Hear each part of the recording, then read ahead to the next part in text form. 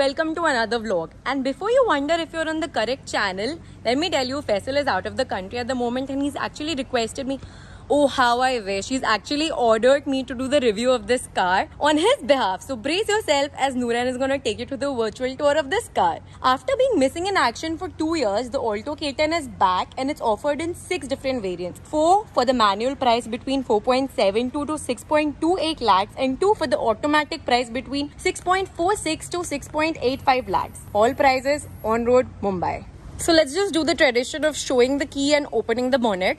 Okay, it's actually kind of difficult to do it just with one hand. But here we go. There is no insulation here and this engine is a 998cc engine with 3 cylinder unit. It produces 66.6 PS of power and 89 Newton meters of torque and this is running on petrol. Oh, it's actually very hot. This is running on petrol power with a small 27 liter tank. Previously they used to offer 35 liters but now it's reduced to 27. For now, we don't have CNG, but it'll be offered later. That said, the design is simple and it has honeycomb grills in the front and basic halogen headlights. There's no DRL or fog lamps. Actually, I think the headlights are visible. They're on though. So there's a lot of cost cutting done here and there. As you can see, there's a single washer washover wiper. The ORVMs are manually adjusting. The side profile looks a little taller than the previous generation K10B so previously it was 1475 and now it's 1520 in height. The length is reduced by 15 mm but it's not very evident. Let's check the wheels. The 13 inch wheels look a little undersized even on a car this small. It gets wheel covers and the tire profile is 145 80. At slightly more than 3.5 meters in length, the Alto is indeed Chintu Mintu. While at the rear, doesn't this look like a Celerio? yes, it kind of does. Let's go back and open the boot. So there is no request sensor or a button to open the boot externally. It can only be done by a key over here or through the internal button. The boot is small at 214 liters but it's fine for a car of this size and the best part is it's pretty deep so there'll not be an issue fitting a cabin baggage here. Let's move towards the rear. The door handles are flap type model and there's some cost cutting done over there as well. One second.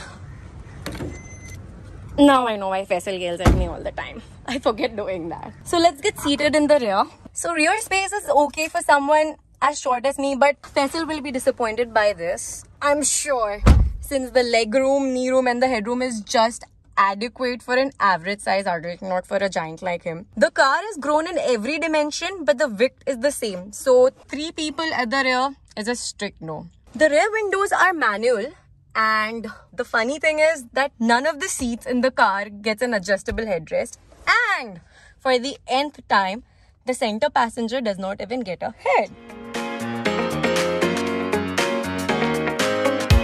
So Maruti Suzuki is actually given the top variant, which is the VXI, quite a few features. It gets a remote keyless entry, multi-function steering audio controls in the steering wheel, and uh, a digital instrument cluster where the speedometer is taking most of the space. There is no tachometer. The interiors are all plastic, hard plastics and uh, there's a lot of relevance with the Celerio and the S-Presso in terms of the interiors. In terms of safety, the Alto gets dual airbags and ABS, and the infotainment system is actually a 7 inch screen. It's a touchscreen with Smart Play Studio software. It also gets Apple CarPlay and Android Auto connectivity, which is neat. The front power window switch, yes, lacks ergonomic placement because the switches are here, not here or here. The car gets four speakers with one speaker on each door with average audio quality. Storage spaces aren't plenty. You get door pockets on the front with bottle holders, mobile holder over here, and two cup holders over here. And you have the normal 12 volt socket charging and a USB socket charging. And the AC temperature is kind of gliding one. You can increase the temperature by doing this. So moving over to the glove box. The glove box is actually small and we have basic side handles over here. There is no vanity mirror even on the passenger seat. So it's like Nooran's face of truth would be disappointed. That's about it. I am so tired and to be honest, I'm like exhausted making the walk around video and it has got me more respect for Faisal because he does it at one go and I've actually breaked it into three parts. And now it's just time to start with the driving vlog.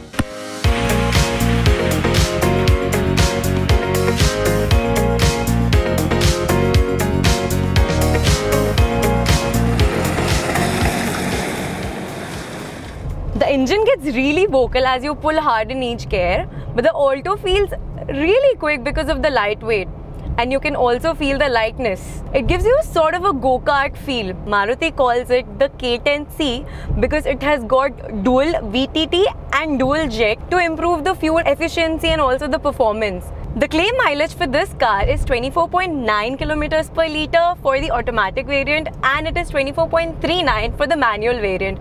However, real time situation you will get somewhere around 16 kilometers per liter. Also, surprisingly, this car has a stop start system. The steering does not have any feel or feedback. It neither weighs up gradually nor does it self center. Like I have to get it back to track or else I'll be on the other side of the road. And it also understeers at times. This car is based on the Heartect platform just like the S-Presso and the Celerio and the body roll is quite evident but somehow the ride seems comfortable. Brakes could have been stronger and in spite of ABS, heavy braking does cause screeching.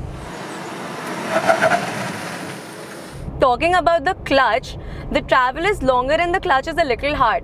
After some point of the journey, you will feel like something is grabbing onto the clutch.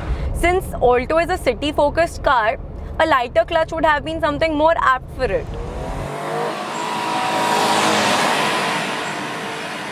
The gear shift for the manual transmission is, however, fine, and as we have seen in most of the Maruti Suzuki cars, the throws are short but the gearbox doesn't feel sluggish when changing gears. The AMT just brings the convenience, but the manual is way better. In case of heavy throttle like this, the AMT just goes crazy and it's completely confused. So if you wanted to buy the Urus S-Presso but did not have the budget for it, then the Alto K10 is the one for you because this is definitely more economical. It has less space but it is definitely more peppy. And as an entry level hatchback, this car is the jack of all trades, though it's the master of none. But definitely it's a good car if you're looking to buy your first car.